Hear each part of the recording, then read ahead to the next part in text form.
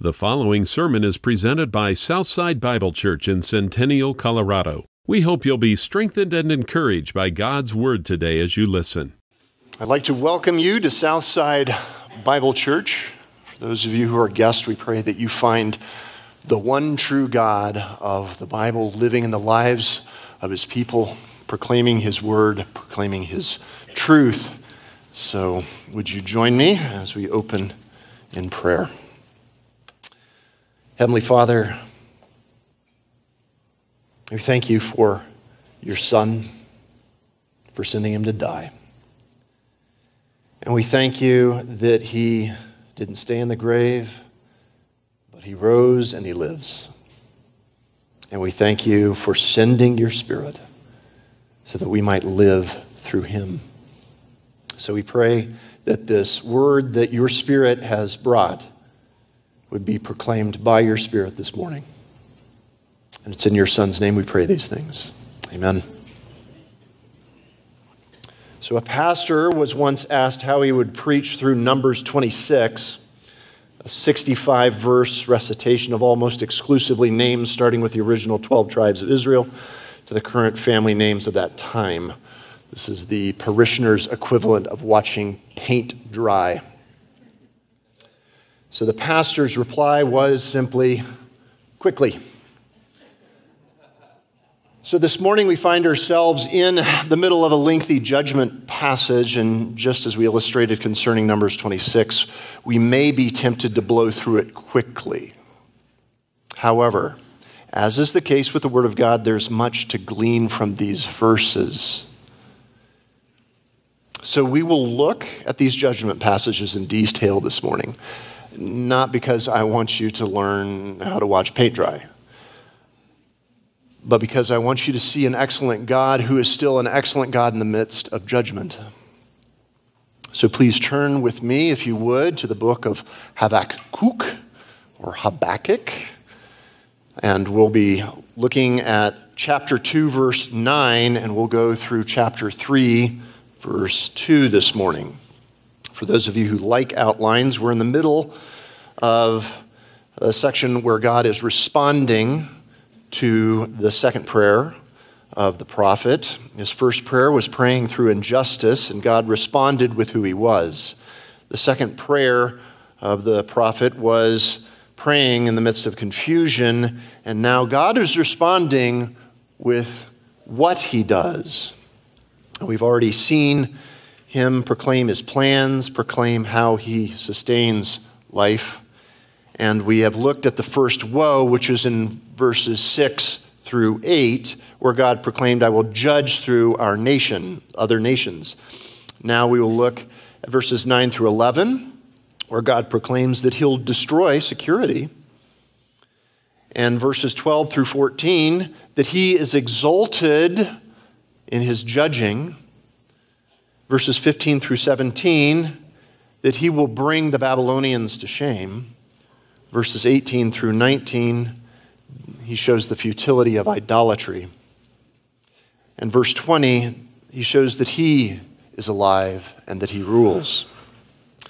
And then in chapter 3, we start the heading of the prophet's third prayer, which I uh, titled Praying Through Tragedy. And uh, verses 1 through 2 concentrates on fear and mercy. So let's pick it up in verses 9 through 11. It says, Woe to him who gets evil gain from his house to put his nest on high, to be delivered from the hand of calamity. You have devised a shameful thing for your house by cutting off many peoples. So you're sinning against yourself. Surely the stone will cry out from the wall and the rafter will answer from the framework. So, if you recall, in chapter 1, verse 16, the prophet said, Because through these things, through their violence, their catch is large and their food is plentiful, meaning that the Babylonians were going to come in and they had already demonstrated their ability of coming in and taking over and taking for themselves. Well, in this section, they were taking, and what they were taking had to do with not monetary gain per se, but this time inanimate objects such as stone and lumber. And it's not necessarily the spoils of war that is being condemned, but how it is being used. So Babylon was taking these things, the stone and the wood, and they were creating for themselves for a, a, nest, so to speak, or a house, a place on high, where they could securely keep themselves from the outside world. The city of Babylon was massive at the time of Nebuchadnezzar. Historically speaking, according to the Greek writer uh, and geographer Herodotus, Babylon had walls so thick that they, had, uh, that they would hold chariot rides on them, or chariot races. There were three sets of walls, boom, boom, boom, 40 feet high.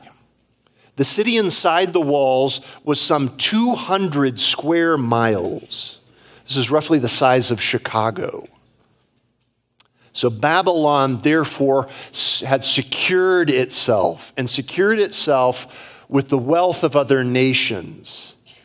And in that they rested, in that security. But God proclaims that you're separating yourselves. You've devised a shameful thing for your house by cutting off many peoples. So Proverbs 26 6 reads, He who cuts off, Katsa is the Hebrew. Katsa, katsa, cut off. Uh, his own feet and, uh, and drinks violence who sends a message by the hand of a fool. So, uh, in that proverb, it's giving a very clear picture, 26 6, it's giving a very clear picture that you can hurt your own self by trying to protect your own self. And that's exactly what Babylon was doing. It was protecting itself from other people, and therefore it cut itself off from other people. To secure itself, I'll protect myself. I want you to hold on to that thought because we're going to come back to it. So, what cries out? Surely the stone will cry out from the wall. And in uh, the NAS, it says the rafter from the framework. The word framework um, is the Hebrew word, can also be translated just wood or timber. And so, as, as wall is to stone, right? A wall is made of stone, so are rafters made of wood. And so, what he's talking about are these inanimate objects. He's talking about the stone and the wood, and it's saying they're going to cry out in judgment against the Babylonians. So how do you get how do you get inanimate objects to cry out? Why would inanimate objects cry out? Well, in a different context, but nonetheless, in Luke 19:40, Jesus is being instructed by the Pharisees, have everybody stop praising you. Help, have them all shut up. This isn't right for them to praise you as he was making his triumphal entry into Jerusalem. That's the context. And Jesus says, I tell you, if these become silent, the stones will cry out. Inanimate objects. Why? Why would stones cry out? Why would stones cry out? Why would wood cry out? Who's really the voice? It'd be God Himself, the creator of these things, to speak truth and to speak judgment. So, if you recall in verse 13 of chapter 1, the prophet was saying, Why are you silent? And here we have even the rafters, even the walls crying out, saying, Judgment. God's not silent. That's what he's declaring to him. He's not silent in judgment. Judgment's coming, and he's the one that will declare it. So I want us to come back to a thought this thought of isolation, this thought of cutting oneself off. I want us to grab hold of that just for a minute. Proverbs 18:1 says, "He who separates himself seeks his own desire. He quarrels against all sound wisdom." Why do we separate ourselves? Why do we separate ourselves from family? Why do we separate ourselves from friends? Why do we separate ourselves from the body of Christ? And this proverb would say, we do so because we seek our own way. Well, no, they're all her- heretical people. And I wish that were true. If you separate yourself from everybody and you're calling everybody a heretic, is everybody really a heretic? No. You separate yourself because you want your own way. No, I'm, I'm protecting myself. Yeah, you're protecting yourself from getting hurt. Who you're protecting? Yourself. It's about yourself. It's about myself. So there's a warning in there, even in this judgment for us, that we can take and apply to ourselves and say, May I not be one who separates myself to seek my own way, but one who seeks to be a part. All right, moving on to the next section, the next woe. This is our third woe, verses 12 through 14. Woe to him who builds a city with bloodshed and founds a town with violence. Is it not indeed the Lord of hosts? The peoples toil for fire, and nations grow weary for, for nothing. For the earth will be filled with the knowledge of the glory of the Lord as, as the waters cover the sea. This might seem a bit confusing, but um, again, recall back in 113, the prophet said, Why do you look at favor with those who deal treacherously? Why do you look positively at people who do violence? And God's making it very clear to Habakkuk I don't. Woe to him who builds a city with bloodshed and founds it with a town with violence. So we've moved now from a people who are take financially and gain by loans. We uh, look at a, at a city established by taking from others. And now we look at a people who was a violent people living treacherously. And God's saying, Whoa, I'm going to deal with them. Whoa, I judge them. So, what's this uh, verse 13? What's it saying? Uh, is, it, is it not indeed from the Lord of hosts? Um, hosts, armies, God it's usually uh, a picture in the Old Testament of God in battle array. Is it not from the Lord of hosts that the people toil for fire, the nations grow weary for nothing? So, what's this really getting at? Um, Jeremiah 51 58 gives us a much clearer picture of exactly what he means by this. Okay, here's what it says Thus says the Lord of hosts, the broad wall of Babylon, that's what we just talked about, will be completely razed and her high gates will be set on fire. So the peoples will toil for nothing, and the nations become exhausted only for fire. Okay, do you get it? This is what he's saying. He's saying everything that they toiled and labored for to build and to make is going to be destroyed. It's going to go, it's all going to come to naught. And who is it from? The Lord of hosts, the Lord of glory. So in verse 14, we read this For the earth will be filled with the knowledge of the glory, kavod, Hebrew, kavod of the Lord, as the waters cover the sea. So, whatever this is, this as the waters cover the sea, it's he's creating a picture that is deep and it's broad. And it's so, what is going to cover the earth deeply and broadly? It's going to be the knowledge of the glory of the Lord. So in Exodus 29 42 through 45, God's glory is associated with the tabernacle or the tent of meeting. In 1 Samuel 4:21, God's glory is associated with the ark. In 1 Kings 8:11, the glory of the Lord is associated with the temple. Okay? And all of those things do associate the glory of the Lord, but what declares the knowledge, yada, of the glory of the Lord? Well, in Psalms uh, 19.1, it says, The heavens declare the glory of the Lord. That's what we call general revelation, the general revelation of who God is. They declare his glory. But what else declares his glory? Pastor Andreas read this morning Psalm 29. Who declares the glory of the Lord?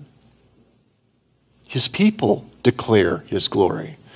If you go back through Psalm 29, you will see glory and you'll see a declaration declare, declare, declare, declare, and they speak of the glory of God.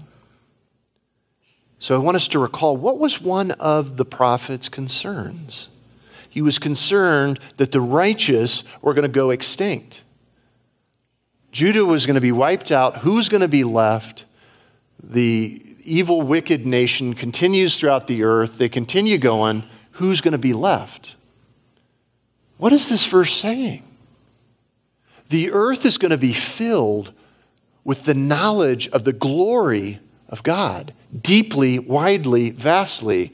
This nation, Judah, gets judged and, in a way, has a forced kind of missionary work because they're pushed out amongst, amongst the nations. If you are here this morning and you have placed your faith in Jesus Christ and Him alone, you declare the glory of God. You are a fulfillment of this promise. You declare the glory of God. And where do we sit? In Denver, Colorado, Centennial, Colorado, in the middle of North America, thousands of miles away from Jerusalem, Israel. And yet God's glory is declared. Let's move on. Verses 15 through 17. Woe to you who make your neighbor your neighbors drink, who mix in your venom even to make them drunk, so as to look at their nakedness. You will be filled with disgrace rather than honor. Now you yourselves drink and expose your own nakedness. The cup of the Lord's right hand will come around to you, and utter disgrace will become upon your glory. For the violence done to Lebanon will overwhelm you, and the devastation of its beasts by which you terrified them, because of human bloodshed and violence done to the land, to the town, and all its inhabitants. Yep, some deep judgment language. So we've talked about their city. We've talked about how they established that city in violence. And now we're talking about some of the activities that they would do. We've uh, spoken of Babylon being heavy wine drinkers before in the past, but here's a different picture. They're taking that alcohol now and they're using it as a means by which to shame other people right? You can think of this as kind of almost a modern day roofie, um, taking something to drug someone up so as to take advantage of them in some way. Um, so, what's the part about venom? Um, there's, there's nothing significant uh, historically about mixing venom with uh, wine. Um, venom is a different uh, form of a poison. It's not a direct poison, it's not caustic, and therefore you can drink it, but, but its effects are zero. It just goes through you. Um, so there's no, no real effect here, but don't focus in on the venom, but the fact that it says your venom. You mix this drink with your venom. And so if you look at Psalm 58, 1 through 5, a wicked, man in, a wicked, wicked man's intentions are associated with venom. So, what it's really saying is you're taking this alcohol and you're using it with evil intention, your venom. Their intention is to expose, to shame these people, to take advantage of them. And so, what does God say then? He says, You will be filled with disgrace rather than honor. Now, you yourselves drink and expose your nakedness. So, they're the ones that are going to be shamed. By who now? By God. Now, the question is, what cup are they drinking? What cup are they drinking? It says the cup in the Lord's right hand. All right? If we look at Jeremiah 25, 15 through 16, the cup of the Lord is judgment, God's wrath. It's very clear. Why the right hand? The right hand was the sword hand. Sorry, lefties. Not, not to left you or leave you out. It's the judgment hand, the sword hand. From his hand, from his right hand, you will drink the cup of his wrath. So, is, uh, I'm going to go back to it again. Is God silent in injustice? No. Just from his limited perspective, the prophet's limited perspective, sure he was. But ultimately, in the grand scheme of eternity, God was not silent. God was speaking loudly. He would judge. So, what's this bit about verse 17? For the violence done to Lebanon uh, will overwhelm you. Isn't Lebanon a separate country from Israel? Modern day, yes. But the, the trees or the area known as Lebanon was a part of the promised land and thus a part of Israel. And what was it known for? Its elegant trees, um, its, its beauty, the trees of Lebanon. And so there's violence done to the foliage, there's violence done to the animals, there's violence done to humans. And if you look all the way back at Genesis 9, 5, God's really clear, makes it very clear at the time of Noah, just as Noah's getting off the ark, that God's very particular and God will judge the way we treat animals as well as humans. And we are, we are not supposed to be cruel. We aren't called to be cruel. And then all the way back, we can go all the way back to Genesis 2. What was man cared to be, uh, called to be? A caretaker. A caretaker of God's creation. They're a destroyer.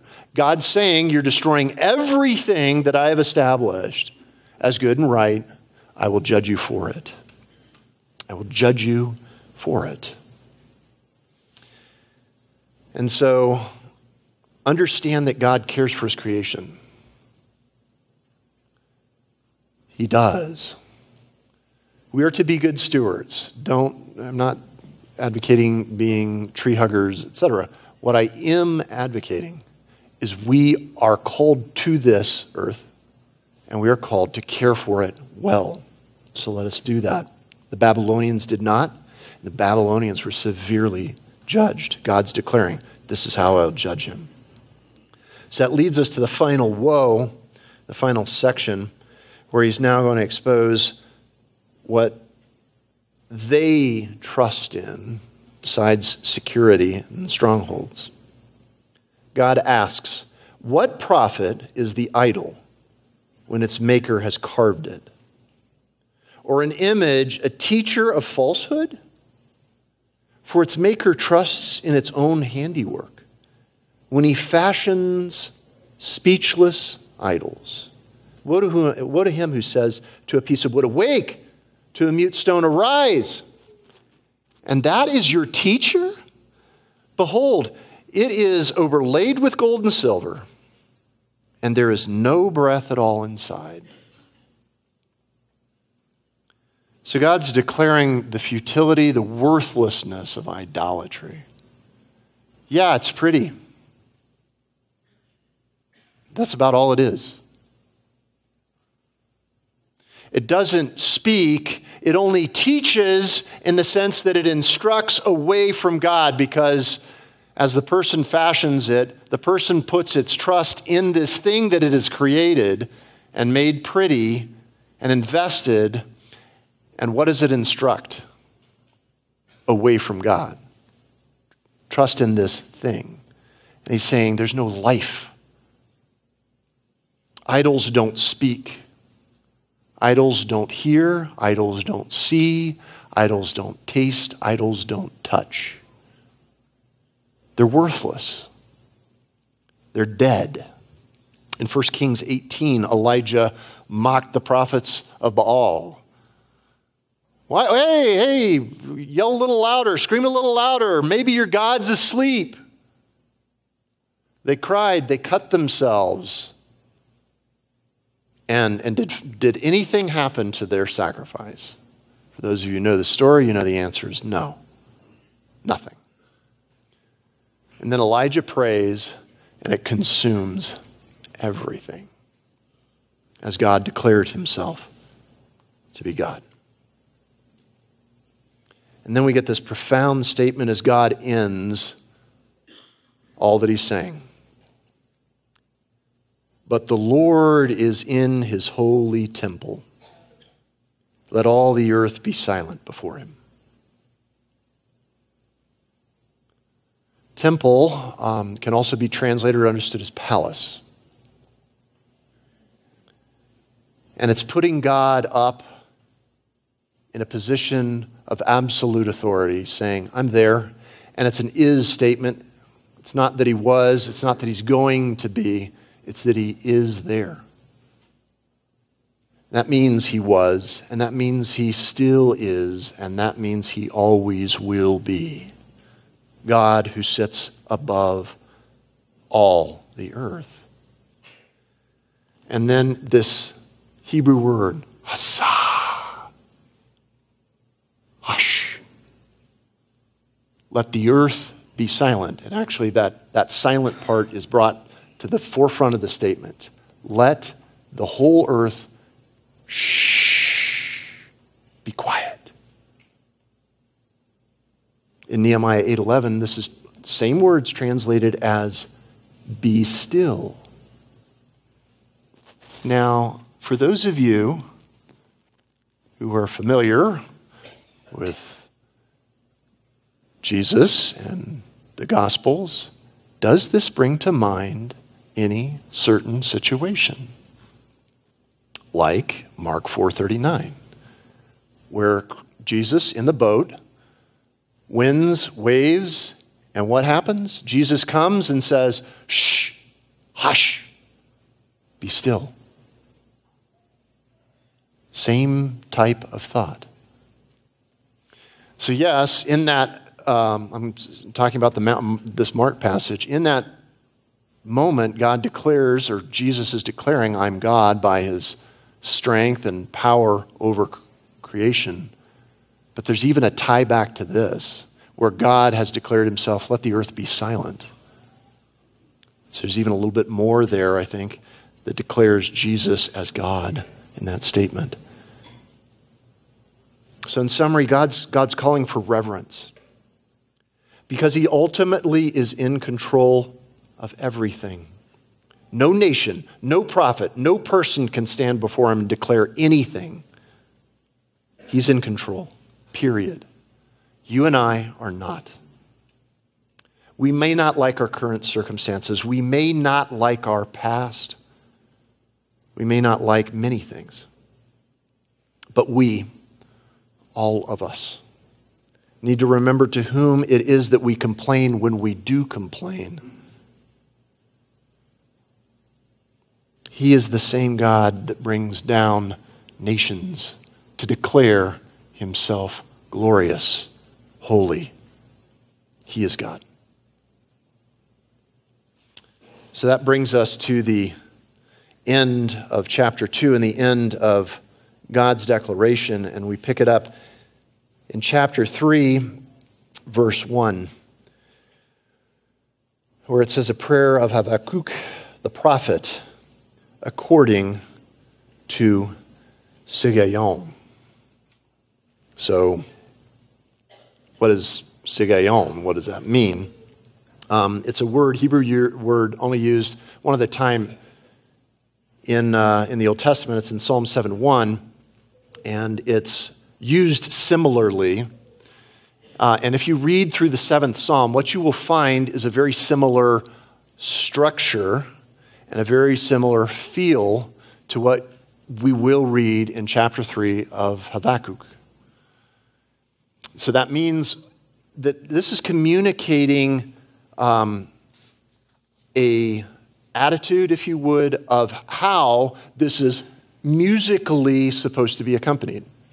So, for you musicians out there, if I say uh, we should play something adagio, what am I saying? Slow. Thank you. Thank you, musicians. Slow. You want me to play slowly. You're telling me how to do it, but you're using a word. And it's a word that musicians are familiar with adagio. Now, if I tell you I want you to play adagio for strings, now what am I telling you? To play a specific piece. And for those of you who recognize what that piece is, you probably heard it in a movie. And I'm not going to tell you what movie it is, Um, but what I will tell you is if you know what movie it is, you know what scene it is, and it sticks with you in your head. I'm going to ask you, why do you think it sticks with you? Why, do you, why does that scene, scene stick with you in your head? I'm going to suggest that it's because it was accompanied by a very emotional piece of music that really drew you into what was going on in that scene. Adagio for strings. So, similarly, Shigionoth is, is this emotional piece of music that is supposed to be accompanied with what he is going over in poetry. So, how do I know it's a musical piece? If you skip all the way down to the very last part of the chapter, you see, for the choir director on my stringed instruments. There you go. It's a musical piece. So, it was supposed to be accompanied with music. It's supposed to emotionally draw the person into what is being said and attach you to it so that you can remember it, remember what's being said. So, with that, let's go ahead and step into the text with verse 2, where we'll end this morning. He says, Lord, I have heard the report about you, and I fear. So he says, Yahweh, Yahweh, Yahweh, Yahweh. I fear. I fear. So I heard of you and I fear. And the question is, what kind of fear are we talking about? Psalm 27 3 uses the same word, and it gives the idea of being afraid of something. And is there um, the possibility that we're talking about that kind of fear? And the answer is actually yes. Um, in 316, same verse, he, he says, or same chapter, he says, I, I heard and my inward parts trembled at the sound of my lips, quivered, decay entered my bones, and in, in my place I trembled. Okay, that's, I'm scared. That's, I'm scared. So if this is speaking of that kind of fear, what would he be afraid of? The judgment coming, right? So there's a legitimate fear. Okay, so that's one possibility. The other possibility is understanding this as deep reverence, as, is, as it's uh, Yare is translated in Psalm 22 23. Same word for fear, but in that case, it's reverence. And if I link uh, 220 with 3 2, where God's basically saying, Give me reverence, I believe it links best with 3 2, saying, I, I, have heard about you and I reverence you. I reverence you. I acknowledge that you are who you say you are. I bow my knee to you now. As you have declared, so let it be. Judgment it is, so let it be. You are God. It's reverence. So let it be. One of the reasons why we say amen. Let it be so. Amen. So he starts with reverence and then he moves to, O Lord, revive your work in the midst of the years. In the midst of the years, make it known. In wrath, remember mercy. This is a really deeply heartfelt statement. He begs God, but what is he begging God for? He uses this phrase in the midst of the years. Um, it, it basically means over the course of time and usually not anytime soon. But in the course of time, he says, make it known. And, the, and so that begs the question make what known? And then he, then he repeats, in the midst of the years, make it known in wrath, remember mercy. So, what was coming? What was coming? Judgment, wrath. Wrath was coming. So, what is he asking for?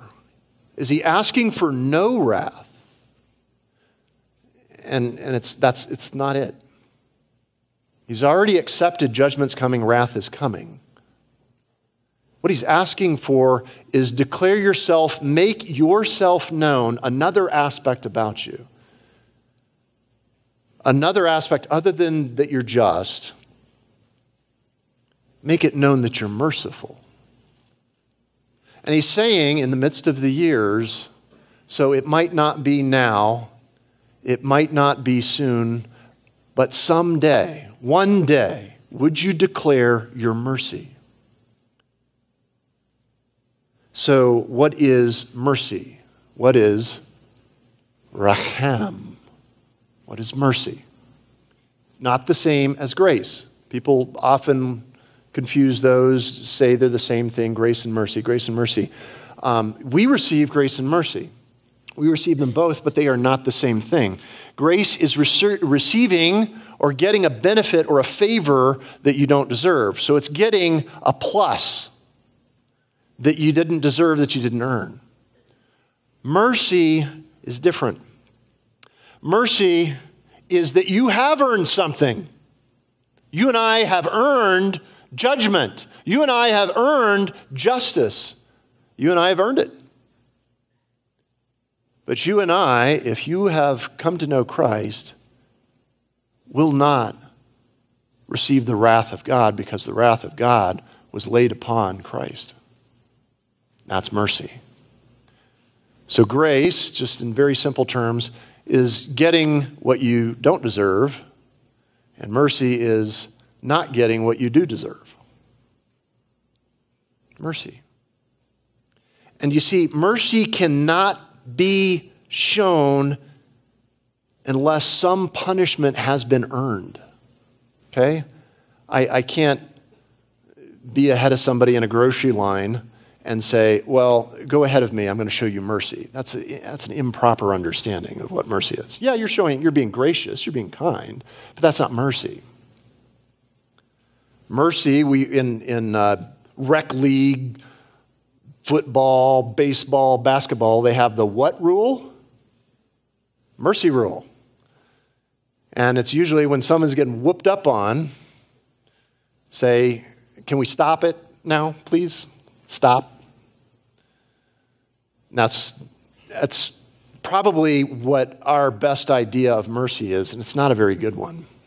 Because a better idea of what mercy is has to do with an absolute monarch catching you in a in some kind of a sin and saying, You deserve death. And in an absolute monarchy, there is no court of appeals. There's no, I've got more evidence. No, in an absolute monarchy, there's an absolute declaration you are guilty. Recompense is demanded, death is demanded. And so mercy would be for that monarch to say, and you, you go free. I release you. You go free. That's mercy. Now, in the economy of God that compromises justice because justice isn't served. But in the economy of God, justice was served. You and I do get to go free, but justice was served on the cross of Christ. Mercy is something that should mean something very deeply, very meaningful to every believer in here. It should hit you at your very core. If you know Christ, you know mercy. In Psalm 103:13, it associates fearing God with receiving mercy. In Proverbs 28:13, it associates confessing sin with receiving mercy. In Micah 7:19, uh, there's a promise of future mercy. And then I want to look at the one here in Isaiah 30. Isaiah 30, verse 18, with respect to mercy. Isaiah 30, verse 18 says, Therefore the Lord longs to be gracious to you, and therefore he waits on high to have compassion. That's, that's our word for mercy, racham, on you. For the Lord is a God of justice. How blessed are those who long for him. He's a God of justice, and he is a God of mercy. So, jumping back to Habakkuk and what, what's said here. In the years, Lord, in the midst of the years, in your judgment, would you show mercy?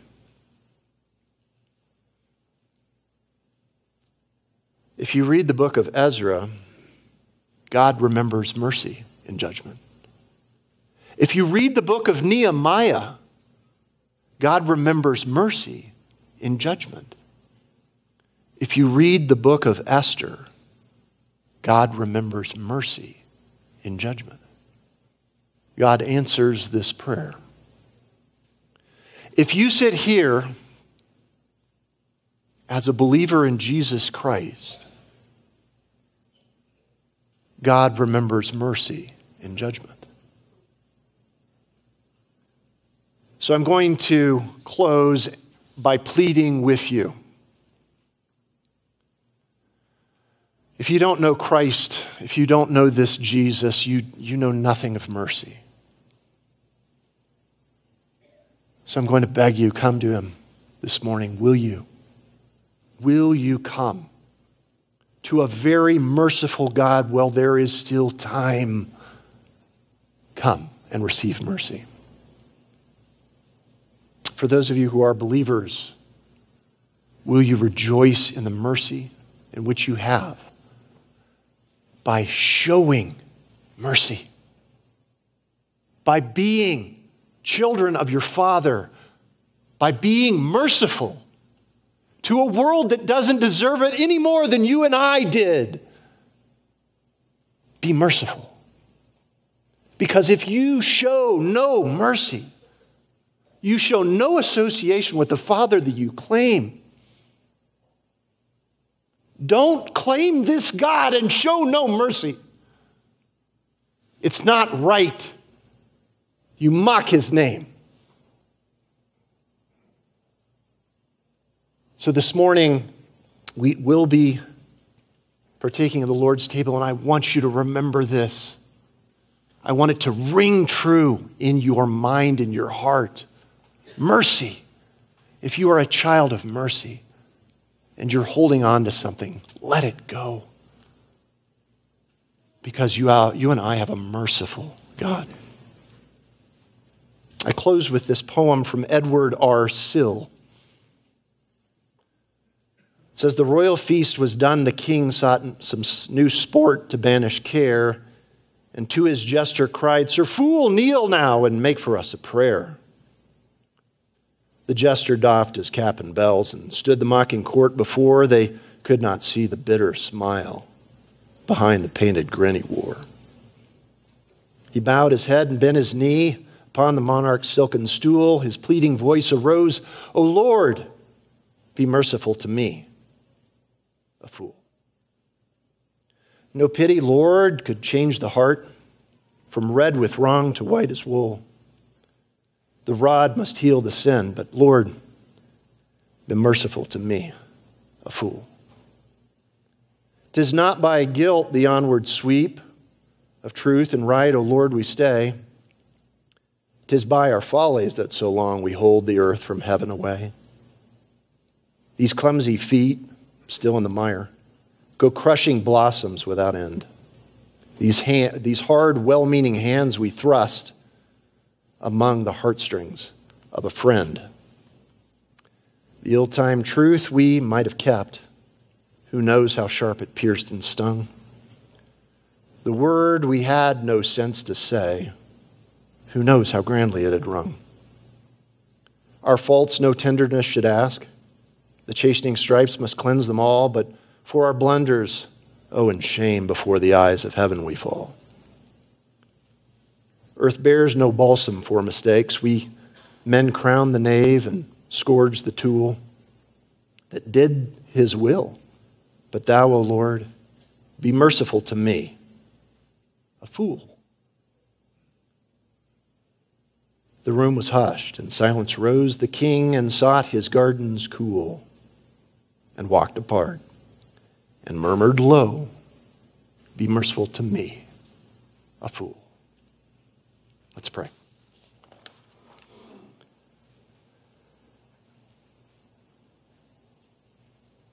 God, you are the God of justice.